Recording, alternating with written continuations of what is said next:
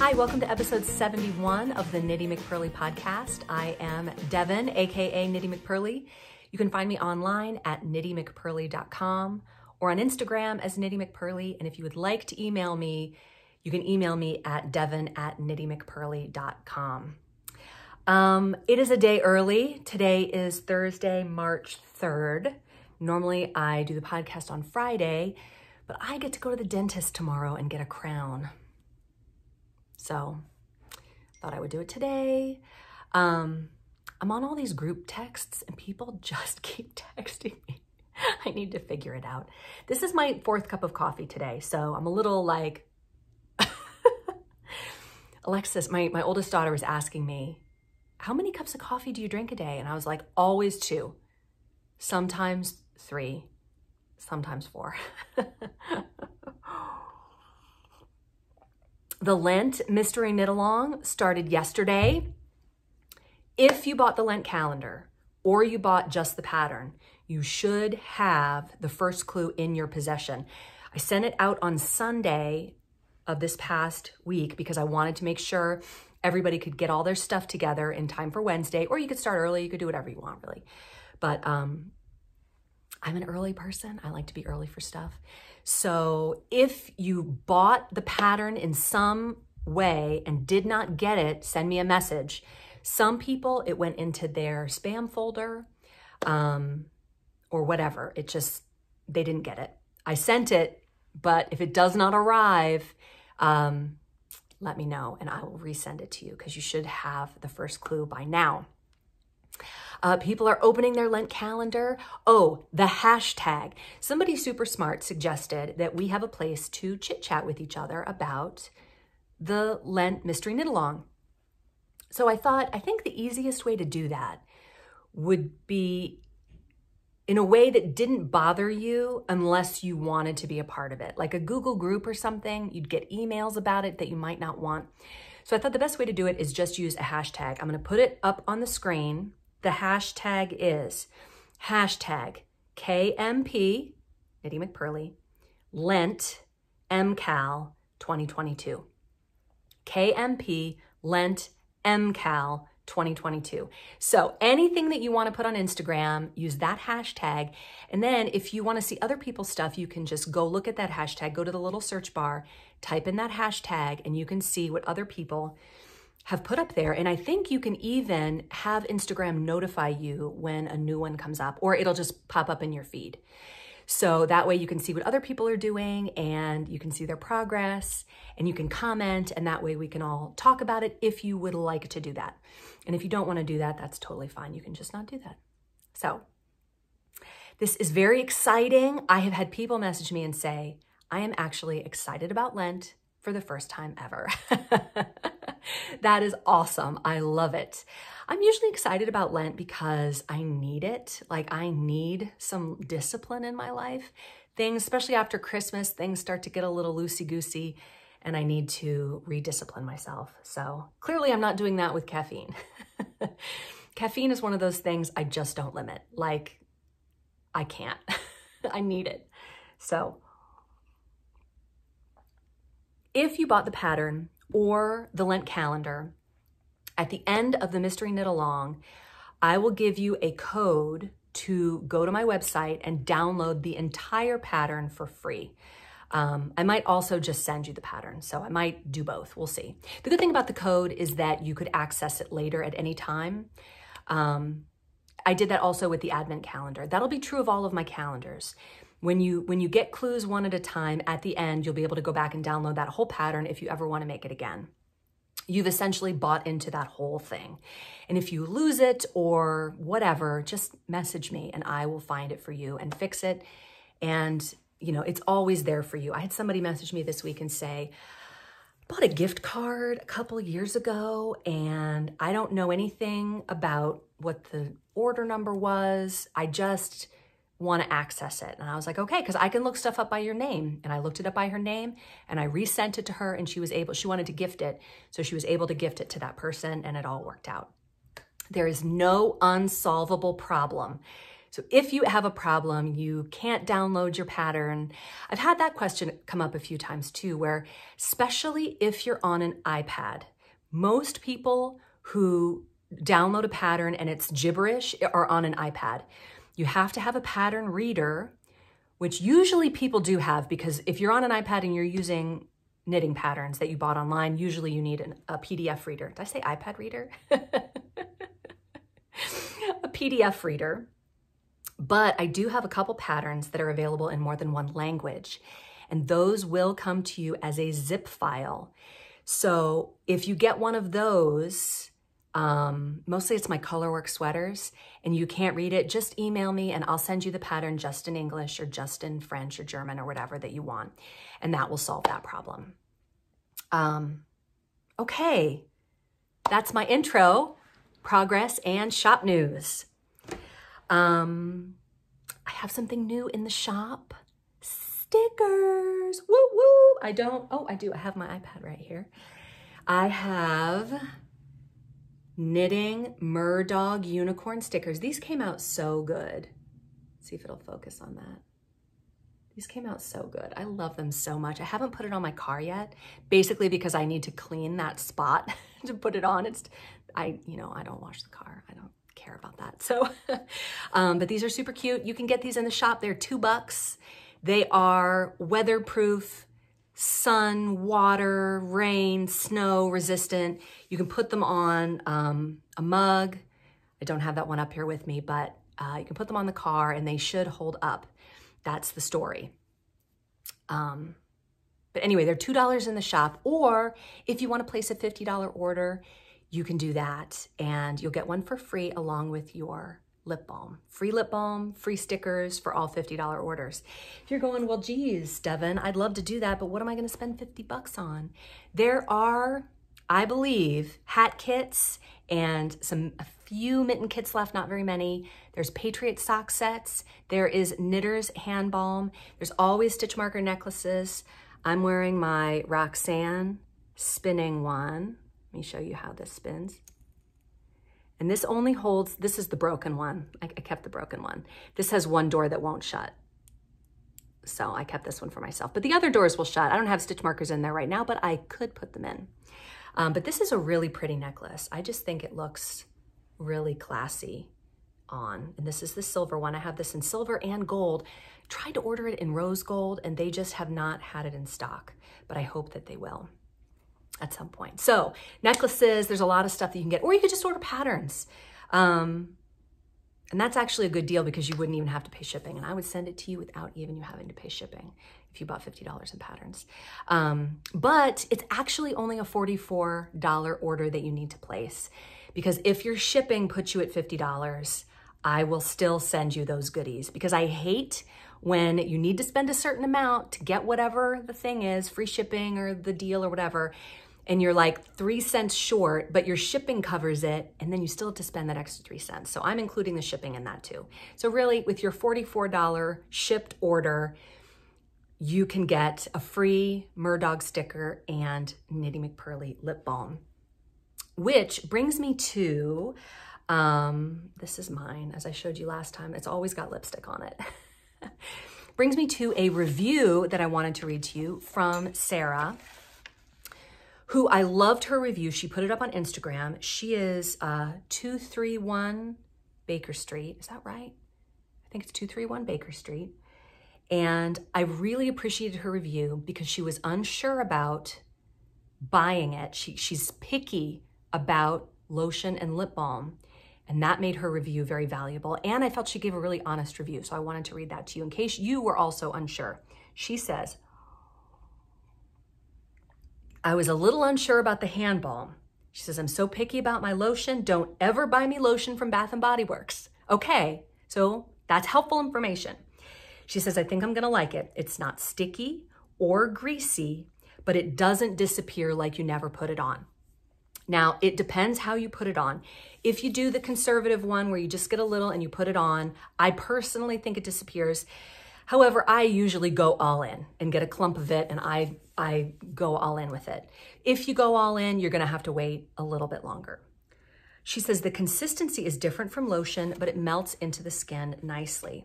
She says the scent is pretty subtle too. She was nervous about the scent because she is scent sensitive. They can give her headaches.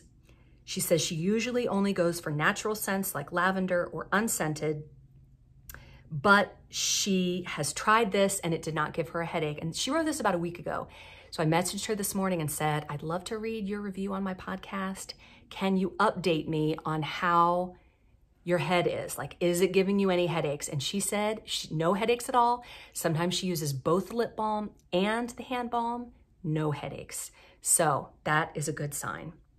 Um, yeah, so she says she likes it. Now, one thing she said that I thought was totally true is that she felt that the lip balm went on a little heavy, and I totally agree with that. But I'm one of those people who sits there with a lip balm and does this.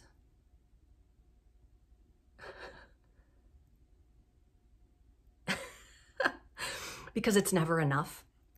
So this does go on a little bit heavy, but that's what I like about it. So if you like a lighter lip balm, like a chat, like a chapstick, you know, with the blue or the black um, label, that goes on. It's like it's almost it's waxier and it just goes on less. If you like a lot, this is good for you. I like a lot, so that's me. Or you just want to go light with it, depending on which type you are. So that stuff is in the shop. Um, what else? Okay, I did all that stuff. Okay, that's shop news. Progress. I've actually been doing a lot of knitting on this sweater and I have ripped back a lot. So it doesn't actually look like I have made that much progress, but I have. This is the boring beige sweater and here is the sleeve. So you can see the, the decreases. I was decreasing at a certain rate and I, I didn't like it, so I ripped it back and I'm decreasing at another rate. And I actually started adding in the color work before it had fully come to the, the slim part. I was still decreasing and I didn't like it. It just looked wrong to me. So I'm going to be fully decreasing all the way until I get to the color work part. So I've actually knit a lot and ripped back a lot. Also, let me show you the colors that I came up with. These colors are fabulous. I totally love them. Oh my gosh. Sorry. I totally love them. We have like a peach and a dark yellow. Both have speckles. I definitely want speckles. But I thought this would be nice and subtle, and it is, it, but it's too subtle. I don't like it. It looks too boring.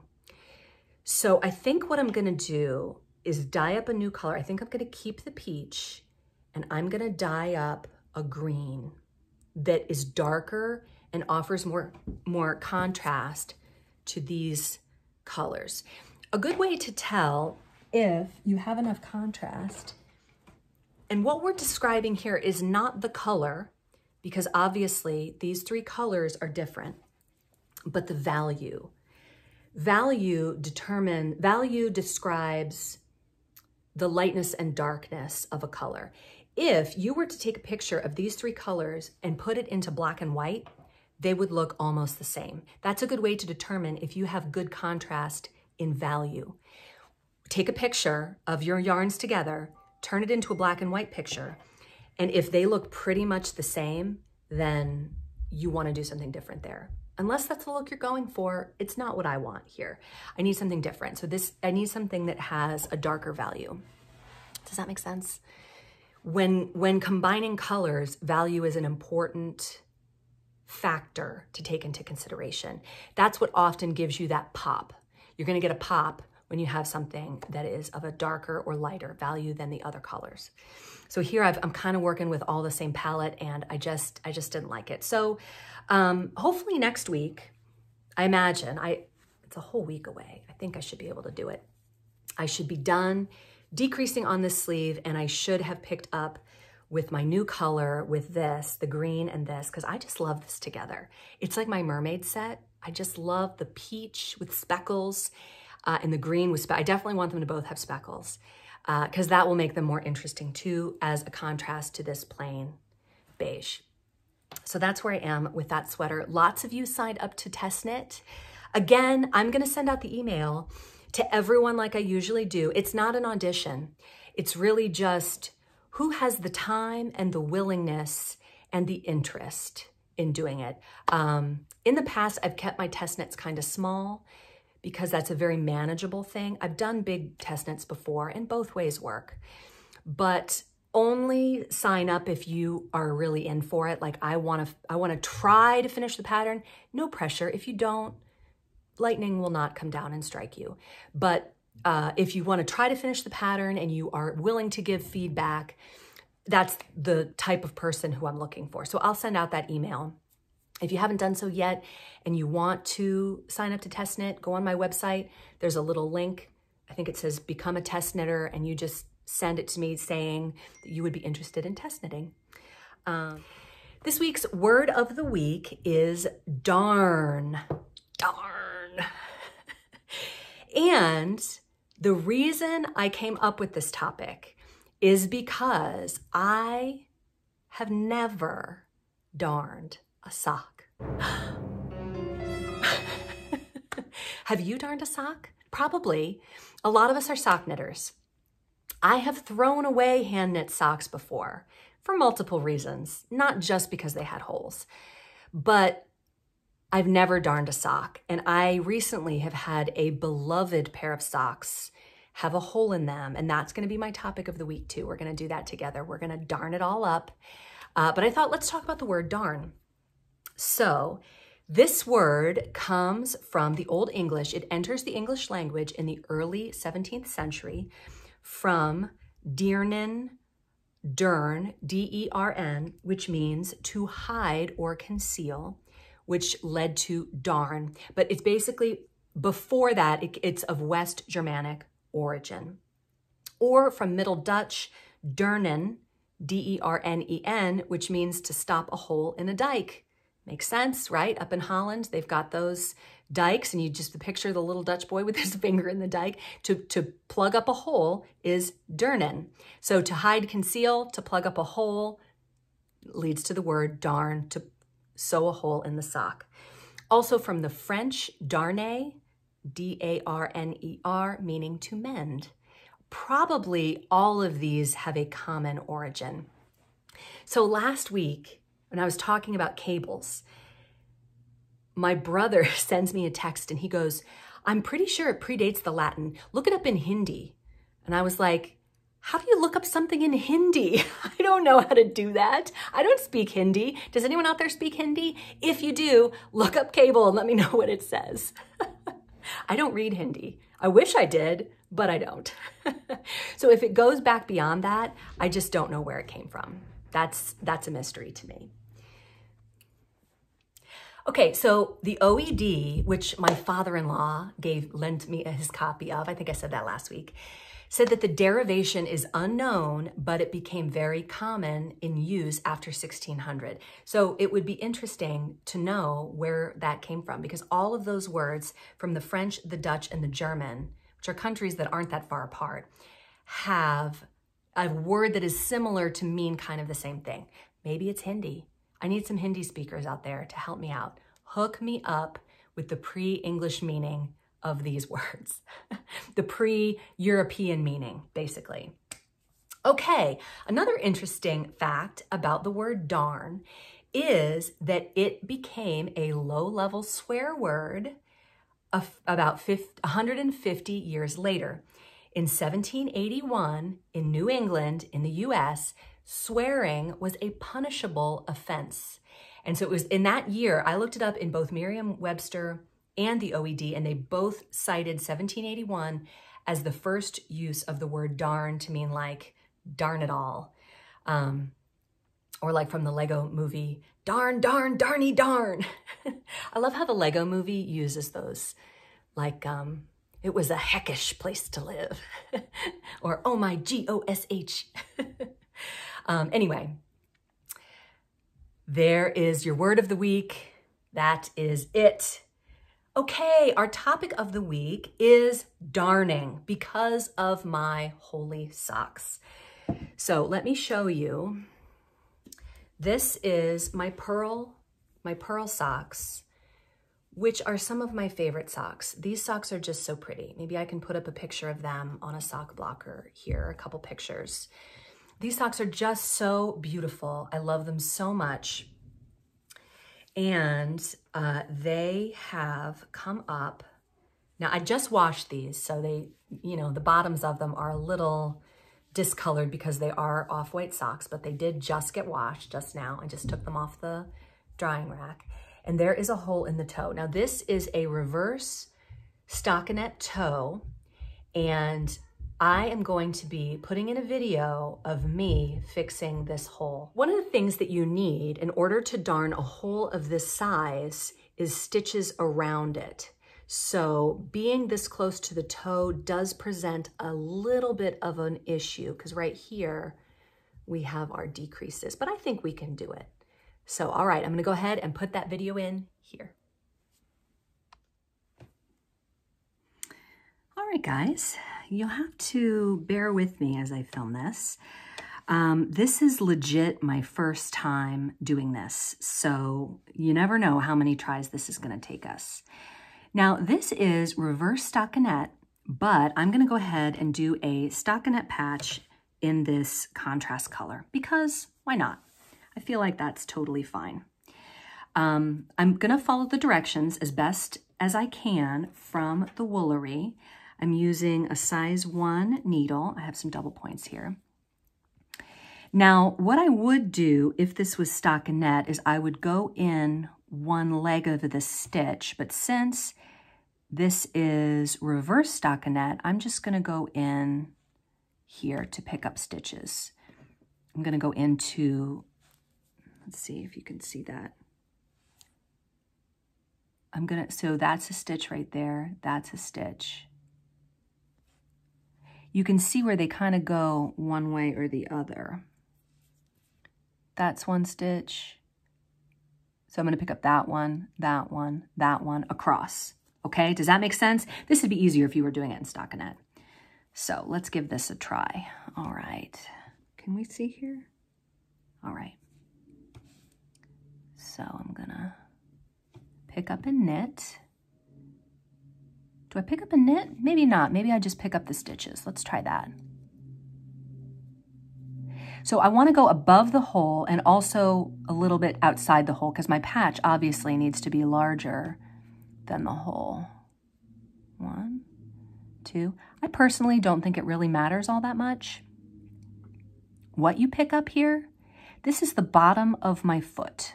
I don't really care about perfection. What I really want is not a hole, okay? So that's me. I'm trying to pick up one stitch. Okay, there. So there is our picked up row at the top of the hole.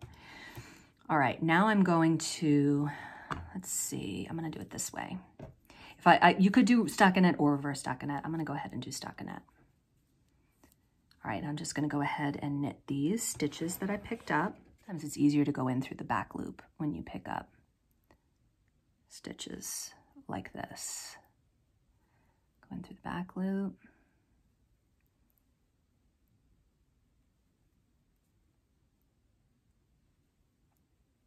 Okay, now I'm gonna turn my work and I am going to, oh, you know what? I think I did it wrong. I am gonna do reverse stockinette. Yeah, let's go ahead and do reverse stockinette. Change of plans. Yeah, try and keep it in the middle here. All right, Oops. Okay, too much coffee today. My hands are shaky. All right, there we go. I also get nervous when people are watching me. Do you get nervous when people are watching you? Breaks me out a little bit. Okay, so I'm gonna purl back. So I changed my mind. I decided to do reverse stockinette. So this is not so much a tutorial of excellence as a, you know, trial and error sort of deal. Okay, so there I have a little bit of stitching. Now here, I am going to, I want to tack down my patch as I go. So what I'm gonna do, can you see that? is pick up a stitch that's outside the realm of the hole, like that, okay? And then I'm gonna knit two together, because what I'm doing is tacking down the edge of the patch. Sorry, I'm trying to keep it in the middle here. I don't know how people do this in a, like a professional way. This is me just guessing. I've got like my makeup mirror here to help me. Okay, now at the end, I'm gonna leave one stitch, okay? And I'm gonna do the same thing. I'm gonna pick up a stitch here and put it on the needle. I'm gonna knit two together through the back loop because that's easier. All right? And then I'm gonna purl back.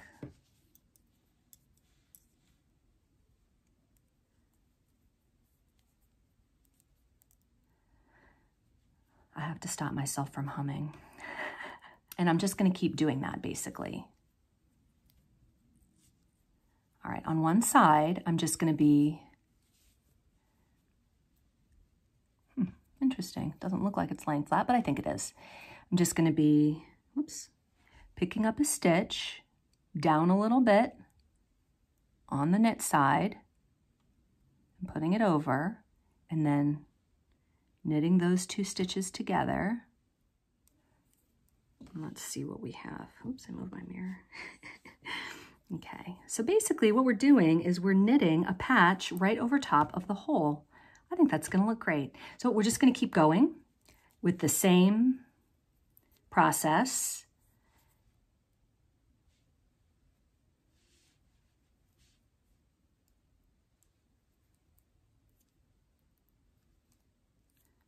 Purl on this side.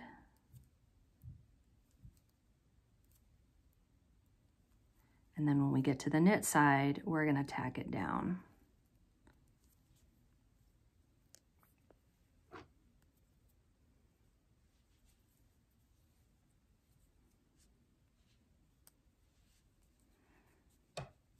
Okay, I'm gonna go down a little bit because look, that's gotta be, I hope I'm, I'm getting enough, for, far enough away from the hole. I think I'm gonna move over a little bit. You know, like I said, I've never done this before. I'm not sure how this is gonna wear, but I am excited. That's more than one stitch. These socks have been around the block a bit, so some of the yarn has felted together a little bit. That's okay. It's not a big deal. Um, okay, there we go. You know, it's kind of my dream to be the Bob Ross of knitting. Like, happy mistakes, happy trees, happy stitches. We don't need perfection. Just give it your best. As, as good as what's needed for the bottom of your foot. So leave that last stitch on. And I'm going to do the same thing. I'm going to drop down a little bit and pick up a stitch. Put it on that needle. And if it's easier to knit through the back loop, knit through the back loop. Doesn't matter. Okay. Don't overthink it, basically. And that is looking fabulous. I love it. I kind of love that it's in a contrast color. Okay, so I'm going to pick up that stitch there. Whoops.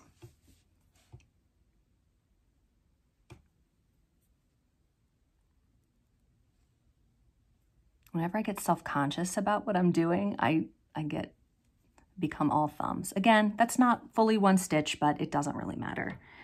I'm gonna go ahead and knit those together. Whoops. And you can, you know, if you wanted to work it on the other side, you could. You can just purl two together. Do it however you want. I guess what I'm trying to get across here is don't be afraid to just jump in and do it. Because the worst thing that could happen is that you make a mistake and you have to take it out. And I'm just guessing. This is my very, very first time doing it. So knit two together. And we're getting there. Look, our hole is almost covered. Oh, I love it. It looks so good. Okay, and then we're gonna purl back.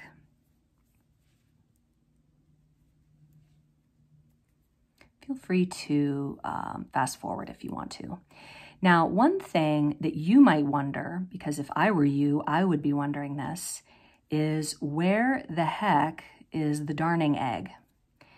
And, you know, like I said, I'm clearly new at this and I don't I don't have any experience to speak to, but one thing that that article from the Woolery said is that when doing the woven patch, that is the time that you would definitely need to have the darning egg. Because uh, a sock is stretchy, I'm gonna go over here because I don't wanna get too close to the hole. A sock is stretchy and the woven patch is not stretchy. So you need to have your sock at the right tension over the darning egg. I actually have one of those. I get my groceries at Lidl and sometimes Lidl will have, it's like Aldi basically, if you, I don't know if you have one near you, but um, I'm gonna go down a little bit, grab that guy. It's a happy little stitch. grab that little guy and put him on the needle. And then we're gonna knit those two together through the back loop because who cares, whatever. And we're getting there. All right, I love it. Now, one thing that the article says is you might feel it at first, but it'll get smushy the more that you wear it. So don't don't worry about it unless, you know, it's going on a person who has like sensory issues. I know some children can't handle the feel of a seam on a sock. That's real. So we're just gonna purl our way across not become self-conscious. I think I need just to do this more because then I will be less self-conscious. I've had people who do podcasts who um, do them with someone else say, How do you come up with so much to talk about? And I'm like, I don't know. it's just my inner dialogue. okay, I'm going to knit two together through the back loop. Don't have to, whatever's easiest. Knit two together in the manner that is easiest for you. And we're going to knit across.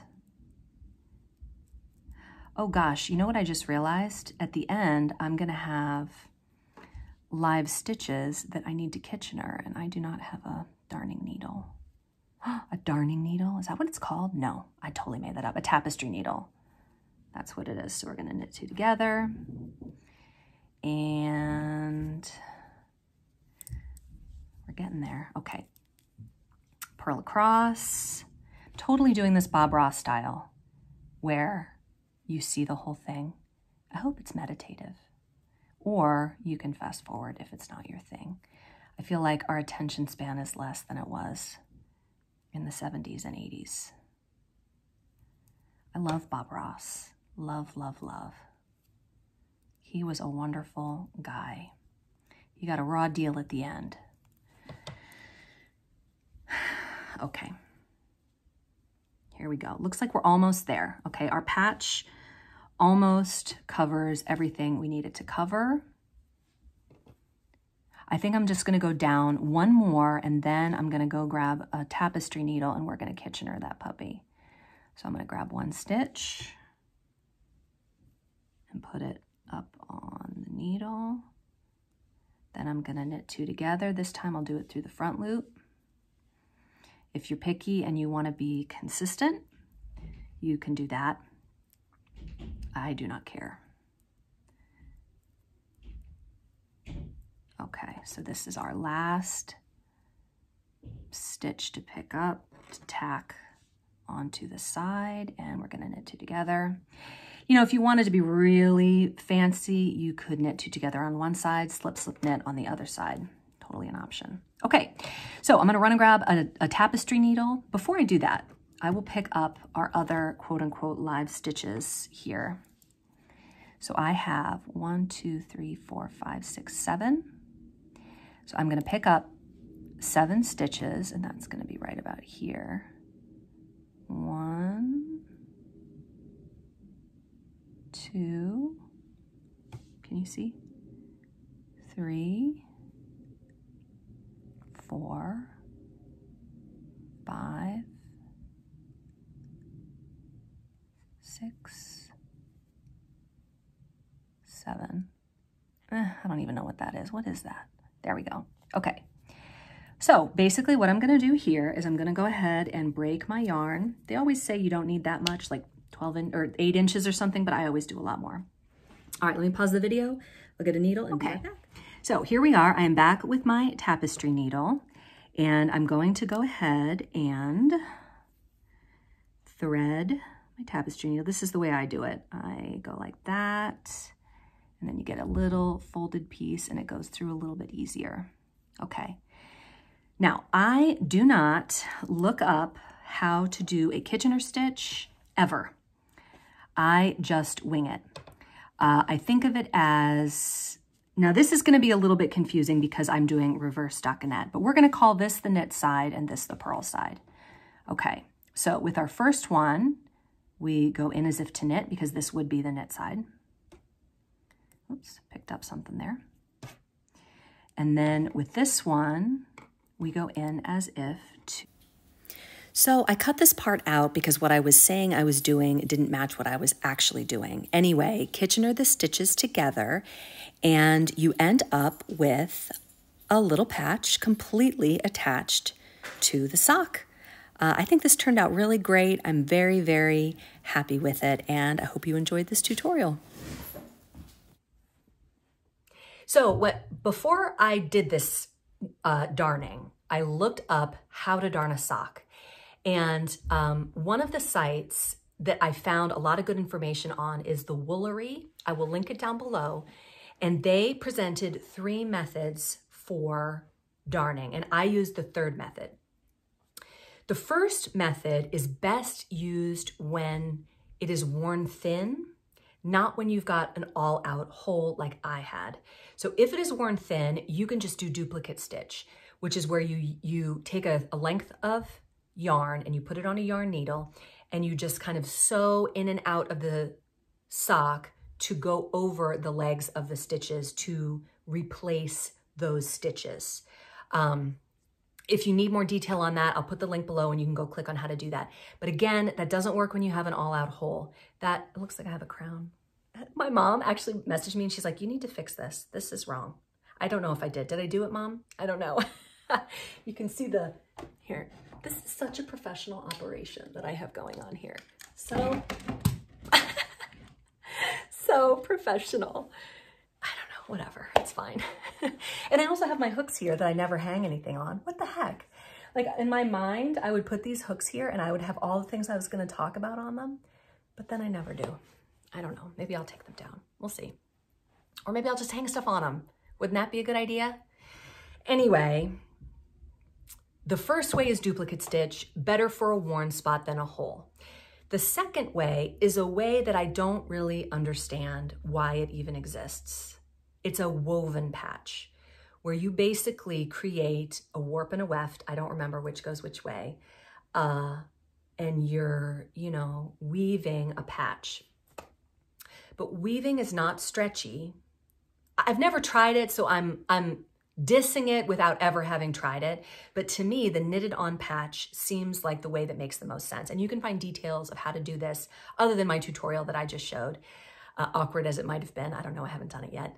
Um, you can find details on how to do all of these uh, methods at thewoolery.com. I will link it below. Okay, there is a new segment to the show. I don't know that I will be able to do it every week, but I drew a little comic and I'll put it up here as I'm talking. Um, I've just been playing around more with Procreate on my iPad and I want to get better at all of the tools.